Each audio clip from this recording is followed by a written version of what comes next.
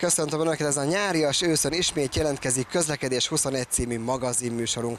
Mai összeállításunkban megismerkedhetnek azzal a szeptemberi programsorozattal, melyet a Közlekedés Tudományi Intézet szervezett több hazai nagyvárosban, melyen kisiskolások sokasága ismerkedett az utcai közlekedéssel. Fontos is elég korán kezdeni, hiszen így lesznek meg az alapok a jogosítványszerzéshez. Ez szinte mindenki számára elengedhetetlen engedélyről szól második összeállításunk. De nem csak az autósoké a világ, ezért is született egy filmetűd, ami a rendkívül színes városi közlekedés dolgozza fel egyfajta sajátos szemszögből. És végül ma sem lehetünk meg modellek nélkül, október elején a Temofesten jártunk.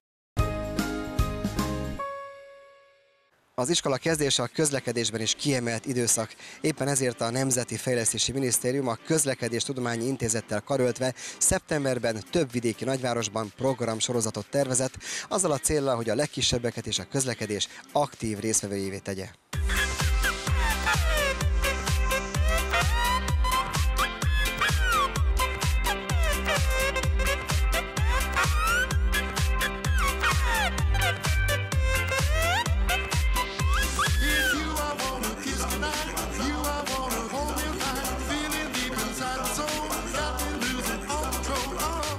Miért pont szeptemberre időzítették a Crestfest idejét?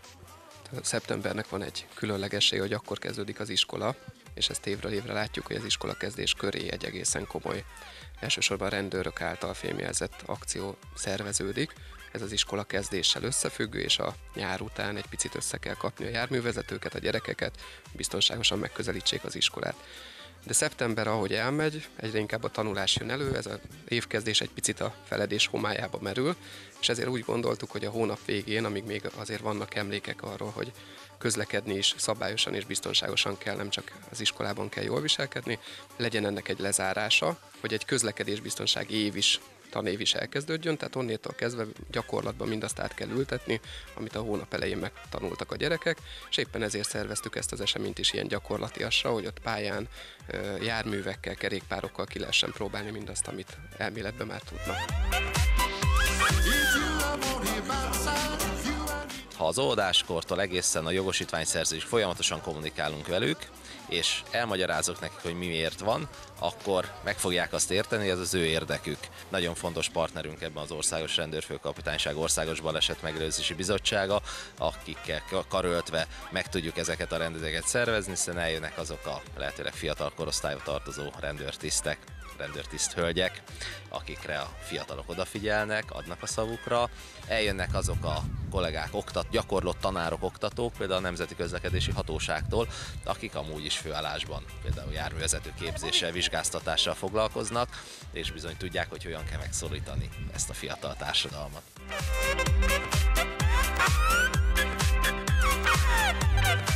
Az Életúton program, amelyben részt vesz a rendőrség, a Közlekedéstudományi Intézet, a Polgárőr Szövetség, Országos Polgárőr Szövetség, civil szervezetek, ennek keretén belül az iskola rendőr programmal összehangoltan természetesen nem csak az iskolák környéki közlekedésre figyelünk oda, hanem az iskolákba, óvodákba járó gyermekeknek a közlekedési ismereteit is szeretnénk fejleszteni, szeretnénk kialakítani bennük egy egészséges érzetet, hogy nem kell félni a közlekedéstől, de a közlekedésre oda kell figyelni, ennek az alapvető szabályait szeretnénk velük megismertetni.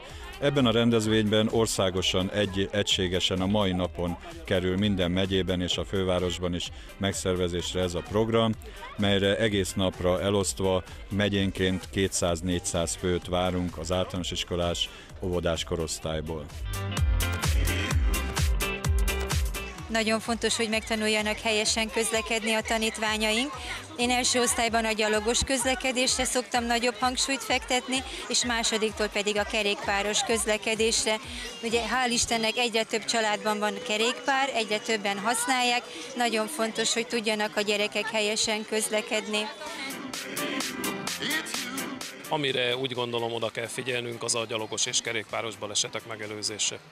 Gyakorlatilag ez a mai rendezvény is főként ezt a célt szolgálja. A gyermekeket, óvodásokat, iskolák alsó tagozatosait ráneveljük a közlekedési szabályok betartására. Ezt megpróbáljuk mindezt játékos formában megtenni, talán így jobban rögzül. Nagyon kell vigyázni, mert ha véletlenül pirosra vált a lámpa, és akkor átmegyünk, akkor elüthet egy autó. Szeretnénk, hogyha az ovisok is a maguk szintjén találkoznának ezzel a feladatkörrel, és nagyon fontos, hogy a iskola kezdő alsós diákok, akik a szülőknek is el tudják vinni az üzenetet, hogy a közlekedés fontos és biztonságosan kell megvalósítani, ők szembesüljenek ezzel a problémával, nagyon játékosan az ő érzelmi világukhoz van ez igazítva, tulajdonképpen nekik ez egy játék, ugyanakkor a családokat szeretnénk megszólítani általuk, és hát itt ezen a fesztiválon már megjelentek a felső tagozatosok, akiknek meg már gyakorlatban önállóan közlekedve kell mindazt bizonyítani, amit elméletben meg a gyakorlati foglalkozásokon elsajátítanak. Mindig kapunk a rendőrségtől kis füzeteket, aminek a segítségével mesékkel át tudjuk velük minden év elején ismételni az iskolába járás szabályait, a tömegközlekedésen lévő fontos dolgokat, amit be kell tartani. Zalaegerszeg egy iskolaváros. Hogyha belegondolok, hogy hány óvoda, általános iskola és középiskola működik nálunk, akkor ezeknek a száma meghaladja a 40-et, több ezer fiatalról beszélünk, ezért nagyon fontos az, hogy a rendőrséggel, a polgárőrséggel együttműködve az elmúlt hónapban egy olyan prevenciót tudtunk megvalósítani, amelynek eredményeképpen majdnem minden intézményünknél vagy rendőr, vagy polgárőr figyelt arra, hogy a kisgyermekekkel ne történhessen baleset. Én azt gondolom, hogy ez a prevenciós munka most éri el a csúcspontját, hogyha ezt az együttműködést tovább tudjuk folytatni az elkövetkező hónapokban, az elkövetkező években, akkor meg tudjuk azt akadályozni, hogy baleset történjen a legkisebbekkel, és mivel nem csak a tanároknak, nem csak a szülőknek kell odafigyelni, hanem a legkisebbeknek is tisztába kell lenni a kereszt szabályaival, hogy hogyan kell közlekedni a járdán, az úttesten, hogyan kell átkelni éppen a zebrán, akkor egy ilyen rendezvény mindenképpen hozzájárulhat ahhoz, hogy továbbra is biztonságban legyenek a legkisebbek, hiszen ők jelentik számunkra a jövőt. A magyar közutakon nagyon elharapózott, nagyon erőszakosan vezetnek az autósok is, és főleg gyerekkorban már fontos az, hogy tudják a gyerekek, hogy mi a helyes, mi a helytelen. Mert ez már beléjük kivódik, akkor úgy gondolom felnőtt korukra. Rendszeresen szoktunk kijárni ide a Kressz Parkba, itt azért többnyire lehet akkor, mikor biciklizni is ezzel, az azért tanulja gyerek játékos formában már gyerekkorában. És fontos, szerintem nagyon.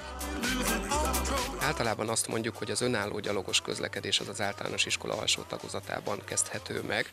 Nyilvánvalóan itt a szülő, meg az intézmény nagyon sokat tud azért tenni, hogy ez minél biztonságosabban történjen. Én egyébként azt gondolom, hogy a, van az Életúton program, ami a közlekedésre felkészítésnek a programja.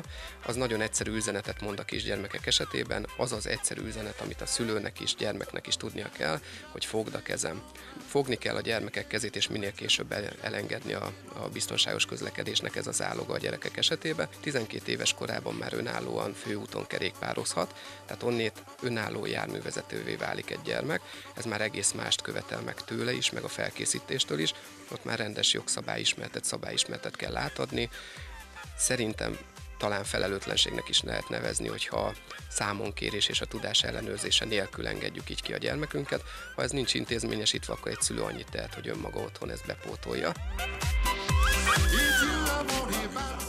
Úgy gondolom, hogy a gyerekek számára minden ilyen játékosan megfogalmazott, de komoly témájú rendezvény nagyon fontos, érdekes és maradandó élményt nyújt.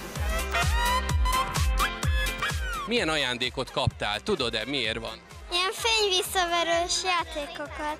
És ez miért fontos? Mire kell használni? Azért, hogyha megyünk biciklivel, akkor fel kell rakni a lábunkra vagy a kezünkre. És ez miért fontos? Hogyha rávirágít egy autó, akkor lásson minket. Én azt gondolom, hogy szerénytelenség nélkül mondhatjuk, hogy ez egy valóban nagyon sikeres program volt. Egyrészt egy olyan országos program, ahol egy időben ez a témakör megbírt jelenni, a helyi médiák támogatásával, tehát nagyon-nagyon sok emberhez el tudott jutni. De hát mondjunk csak annyit, amennyit tényszerűen tudunk és adatokra tudunk támaszkodni. Több mint 5000 gyermek foglalkozott azon a napon a biztonságos közlekedéssel.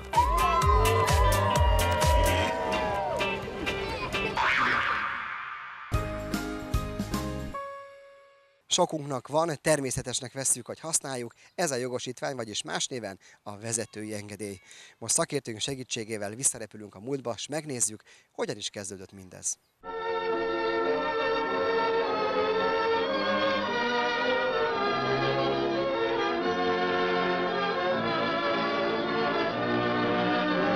Mikor adták ki az első jogosítvány Magyarországon?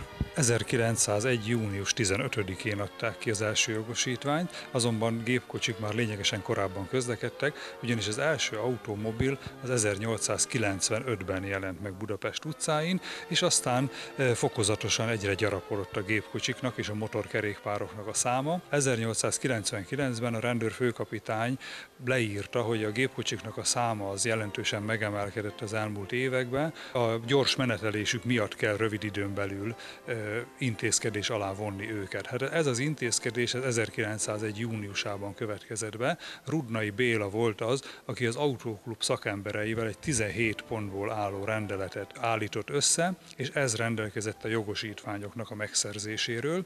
A rendelet kimondta, hogy 1901. június 15-től csak vizsgázott gépkocsi és vizsgázott gépkocsi vezető közlekedhet. A fogatolt járművek ugye 1890 óta egy úgynevezett regula alapján közlekedtek, ami főképp irányelveket tartalmazott, azonban 1910-ben a gépjárművek közlekedését szabályozták, és ez a szabályozás mindössze négy darab jelzőtáblának a használatát írta elő, illetve a közlekedés általános szabályait, a hajtási irányt és a kikerülést egyebeket.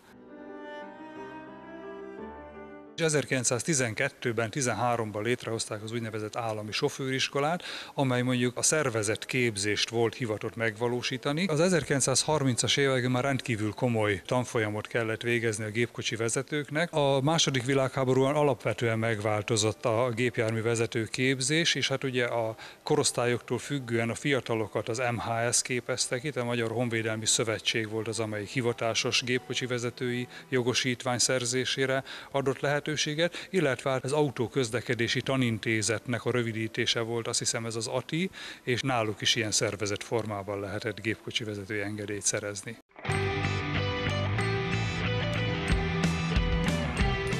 Eddig az volt a, a hagyományos képzésnek a tematikája, hogy csak tanteremben lehetett az elméleti képzést lefolytatni. E, nyilván azért igazodni kell ennek a szakterületnek is a, a mai kor vívmányaihoz, tehát most már elektronikus úton, tehát e-learning formájában el lehet végezni a, a tanfolyamot. Nagyon komolyan vesz az ember, akkor mennyi idő alatt végezhető el az elméleti tanfolyam? Hát olyan három hét alatt, kettő hét alatt meg, megcsináltam a tanfolyamot, és utána ugye elkezdtem gyakorolni a kérdésekre, a, a kérdéseket nézegetni. Tehát ha intenzíven csinálja az ember, mint én, mert én pont nyári szünetben csináltam, egy nap négy-öt fejezetet is tud haladni, és akkor hip-hop végez a 30 vagy 32 anyaggal. És végül hogyan látod, ugyanazt a tudásanyagot meg tudod kapni így, mint hogyha eljárnál egy klasszikus órára? Én úgy gondolom, hogy még jobban is, mert az ember itt érzi, hogy mikor ö, már nem tud koncentrálni, és akkor nem kell végigülni azt a maradék 15-10 percet, akkor ott abba hagyja, és majd később, amikor újult erővel neki tud kezdeni. Azt tudni kell, hogy ez az e-learninges tanfolyam ez nem úgy működik, hogy van egy program, és azt végig kell nyomkodni. Ebben bizonyos olyan blokkok vannak beépítve, olyan, olyan kapuk, hogy bizonyos témák után kell egy kvázi házi vizsgát tenni, egy blokkvizsgát kell tenni a tanulónak, hát amennyiben ez sikerül teljesíti, akkor kapja meg a következő része. Ezt nem tudja, tehát magyarul a nagyban nyomkodta végig, és nem pedig maga a tanuló, akkor ő ezt a tanfolyamot nem fogja tudni elvégezni. Tehát fontos, hogy ezt ő tegye, ő tanulja meg, és csak akkor tudja tovább csinálni és végrehajtani ezt az e képzést. A tanfolyam kezdetétől számított 9 hónapon belül az első vizsgára el kell, hogy menjen a tanuló, illetve a tanfolyam kezdetétől számított egy éven belül sikeresen teljesíteni is kell. És még ami változott, a kötelező kilométer szám. Én négy éve késői idős fejjel vizsgáztam. Én nem hiszem, hogy vezetem 580 kilométert. Erre miért volt szükség, hogy ennyit kell vezetni egy tanulóvezetőnek? Ma nagyon sok képzőszerv működik a piacon. Néhány képzőszerv szinte álló autóban tanították, vagy próbálták megtanítani a tanítványaikat közlekedni, hiszen így maradt több pénz a kasszába. Tehát el kellett jutni most odáig a jogalkotás terén, hogy ki kell kényszerítenünk a képzőszervektől azt, hogy valóban mozogjon az autó a tanuló alatt, és a felmérések alapján az adat jött ki, hogy legalább 580 kilométert futniuk kell ahhoz, hogy legalább valami fogalmuk legyen arról, hogy mégis mi is a közlekedés. Eddig volt a 30 óra, az 1970 óta van, tehát 43 évvel ezelőtt azóta hangyányit nagyobb lett a forgalom a városban. Másik rész, hogy aki Budapesten megtanul, az bárhol elboldogul a világon, ez egyértelmű. Tehát a budapesti 580 km nagyjából felkészíti a tanulót arra, hogy közlekedésre érett legyen. Minden egyes tanulónak van egy vezetési kartonja, kezdéskor be kell írni a kezdő kilométerórát, a tanulónak alá kell írni, végzéskor be kell írni a végző kilométeróra állást, és nyilván kettő közti különbség az a levezetett kilométer, és ezt minden órán minden egyes tanulóval meg kell csinálni, és mihelyt meg lett az 580 kilométer, és ha maga a tanuló is úgy érzi, hogy ő vizsgára bocsájtható, mert ő már tisztában van nagyjából a dolgokkal, így természetesen elvégezheti ő is a vizsgát. Az idők folyamán jelentősen változott a jogosítványoknak a kinézete. Az első jogosítványok egy két lapból álló kis füzetecske volt, aztán ez változott. Az 1970-es, 80-as években egy három-négy lapos kis könyvecske volt, amelyre ugye bejegyezték már a különféle kategóriákat, és ma már egy műanyag kártyán van rajta az összes információ.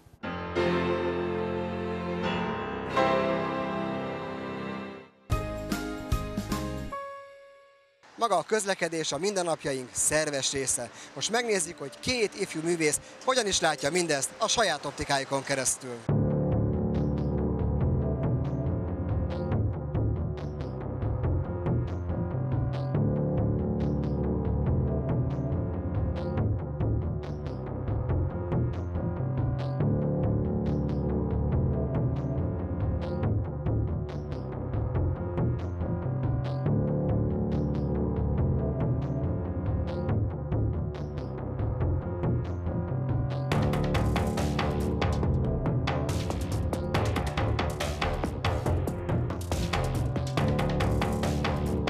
Budapest legforgalmasabb terén álló két fiatal ember, akik egy filmet jegyeznek, ez a Mobilus. Hogyan lehetne apostrofálni a saját magad filmét? Én a közlekedésnek iszonyatosan nagy rajongója vagyok, a tömegközlekedésnek pedig kifejezetten, és ezért is és a diploma filmemhez én egy témát kerestem, és timelapse technikával akartam ezt társítani, aminek szintén nagy rajongója vagyok, és így született meg ez a timelapse film, ami Budapest közlekedéséről szól. A timelapse egy idősűrítő, időkiagyásos technika, a fényképezőgép bizonyos időközönként kockákat rögzít, és ezt később mo- mozgássá fűzzük össze az utómunkában. A vége, hogy a zene és a kép tökéletes harmóniában van, belenéztél a forgatottba, akkor ötletet kaptál, nekiültél, hogy született meg a zene? Természetesen először Ádámtól kaptam filmjeleneteket, és rögtön tudtam, hogy ehhez én milyen zenét írnék. Ezek a képsorok, amiket Ádám mutatott, bár dokumentalista jellegűek, mégis azáltal, hogy ezzel a speciális felvételi technikával van felvéve, már egészen más hangulatokat idéz, mintha az ember csak nézné szimplán a közlekedés és az utcai felvételeket, és ez engem megihletett. Mondhatjuk azt, hogy valahol más az, amit ő akart ezzel a képpel mondani, és amit én ebből zeneileg kihoztam, hiszen ez a kettő együtt már gondolatokat képes közvetíteni, és beszélgettünk arról, hogy neki mit jelentenek ezek a képsorok, és mit szeretne ezzel elmondani, és hogy én mit gondolok. Én egy picit sötétebb hangulatú zenét készítettem hozzá, mint amit Ádám először gondolt. Ezáltal egy olyan gondolatiság jött ki a film egészéből, ami egy ilyen nagyon érdekes állásfoglalás a mai kor rohanó közlekedés, és rohanunk mindenhova, és, és a picit benne van a környezetszennyezés, elképzelésünk arról, hogy mi lehetne esetleg egy, egy jobb világ közlekedése, és ezek mind nagyon finoman, de ott vannak a filmben, aki így veszi a fáradtságot és leül, és teljes egészében kép, hang úgy koncentrál rá, az érezni fogja ezeket a gondolatokat. Alapvetően ugye a képek azok csak objektívan, leíróan bemutatják a közlekedést, és ami dramaturgia került bele, az a zene által került bele. Én megnéztem nem is egyszer többször, tényleg ennyire depresszív a, a hangulat reggelente mondjuk a metróban. Én ezt vettem, hogy ez egy ilyen depresszív város. Lehet, hogy csak a, így, ilyen hatása voltak rám a zenekép együtt, de, de így érzed, depresszív város ez Budapest? Pontosan van egy ilyen hatása, mindenképpen egy sötét atmoszférája van, de én nem, nem hinném azt, hogy kifejezetten hogy bármi, bármelyik más európai várostól különbözőbb lenne. Szerintem amiket látunk, azok, az az embert mutatja meg. Főleg ezek a lassítások, és nem hiszem, hogy ez Budapest specifikus, vagy Magyarország specifikusak lennének egyáltalán. Szerintem ezt bárhol máshol a világon leforgattuk volna, akkor se kaptunk volna több mosolyt az ilyen lassításokban.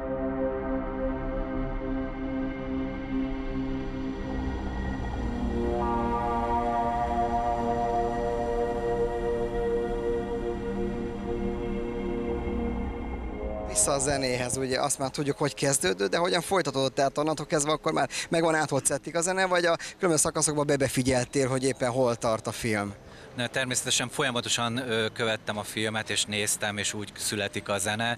Azért az én esetemben ez egy speciális dolog, tehát én nem egy száz zongorával ö, írom a dalokat, és kottázom le, tehát nem egy klasszikus fajta zeneszerzési metódus, hanem én világéletemben elektronikus zenével foglalkoztam, és azért ez egy speciális terület, tehát itt kompjúterrel, szemplerekkel, szintetizátorokkal készítjük a zenét, és hát megvan az a lehetőségem, hogy olyan hangképeket is fessek ezekkel az eszközökkel, amik, amik egészen speciális hangulatokat eredményeznek. 8 hónap alatt készült a film, 2012. októberében kezdtem el, és júliusban lett kész a film, tehát én minden héten forgattam több snittet is, tehát a kamera mindig nálam volt, meg az állván, és jártam a várost, ahol voltam, és mindig csináltam. És, és folyamatosan, ahogy elkészült egy jelenet, úgy azt össze is vágtam, és így folyamatosan építkezett igazából a film, tehát egyszerre vágtam is, ahogy leforgatódott.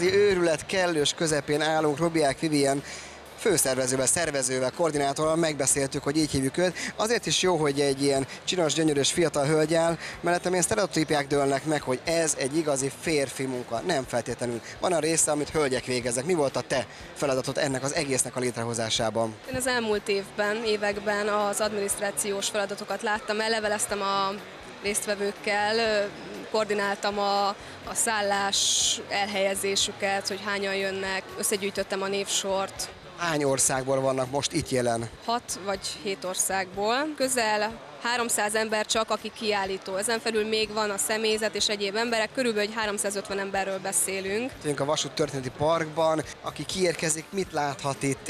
Ilyen terepasztal, olyan terepasztal, vitrinek, hogy pontosan mivel találkozhat itt a látogató? Különböző méretarányú terepasztalokkal találkozhatnak, H0, H0E, 0E, illetve TT, Fremós modulrendszerek vannak összerakva. Körülbelül a H0, illetve H0E modulterepasztal együtt majdnem 400 méter hosszúságú. Nagyon hosszú modulrendszereink vannak idén, illetve vannak egyéni kiállítók is egyéni terepasztalokkal. De van-e valami kis kedvenc részed, szegmensed, egy kis jelenet, ami, ami úgy megragad benned? Igazából vannak terepasztal részletek, amiket láttam, mindegyikben meg lehet látni a különlegességet. Mindegyikben van valami apróság, amivel egyedivé teszik, és, és amiben látszik a lelke annak, aki elkészítette. But slow the fate to get by. Slow the fate to by. Tulajdonképpen régóta szerettük volna már ezt a kiállítást idehozni, mert úgy gondoljuk, hogy autentikusan ide illik. Hát nyilván vasúttörténeti park az minden, ami vasút, én azt gondolom. Hát ez pedig abszolút ugye ehhez a témához kapcsolódik, már csak azért is, mert itt vannak olyan terepasztalok, amelyek egy az egybe modellezik a nagyvasút működését. Tehát nem csak egy ilyen fantázia tájat valaki elképzelt, hanem konkrétan időre indulnak vonatok, úgy, mint a nagyvasútnál is. A másik, amiért nagyon szeretjük ezt, mert a gyerekekhez közelebb hozza a vasút világát. Tehát Persze jó dolog felülni a nagy mozdonyra is, mert ott meg a monumentalitás az, ami, ami hat rájuk. Itt viszont az ő kis ö, méretükhöz képest megtekinthetnek olyan dolgokat, ami, amit mondjuk nem látnak át nagyba. És, és szerintem kedvet csinál ahhoz, hogy akár otthon ők is kérjenek ilyet karácsonyra, mint hogy ez szokás szokott lenni, és kipróbálhassák, és egy picit úgy, úgy jobban megszeressék a, a vasút világát. Tehát szeretnénk azt tovább vinni azt a küldetést, hogy, hogy a, a gyerekeket, a családokat, illetve hát bárkit, akit ez érdekel, annak bemutassunk mindent, ami vasút. Például vannak olyan asztalok, ahol a legapróbb részletekig ki vannak dolgozva a figurák, a, a járművek, a táj, bizonyos kiállítók, összeszervezik más nemzetekkel is úgy azt a terepasztalt, amin óramű pontossággal indítják a járatokat, úgy, mint a nagyvasútba. És még azt is kiszámolták, hogy hogy kell időzíteni, hogy ugye nincsenek meg azok a távolságok, mint az életben a városok között. De akkor azt kiszámolták, hogy hogy kell az órát úgy átállítani, hogy az mégis egyezzen a napi menetrenddel a nagyvasútba. Köszönöm szépen. Lesz jövőre? Tervezzük, mindenképp szeretnénk folytatni ezt a hagyományt. Ez elindult tavaly, van az idén, és tervezzük a 2014-es évre is.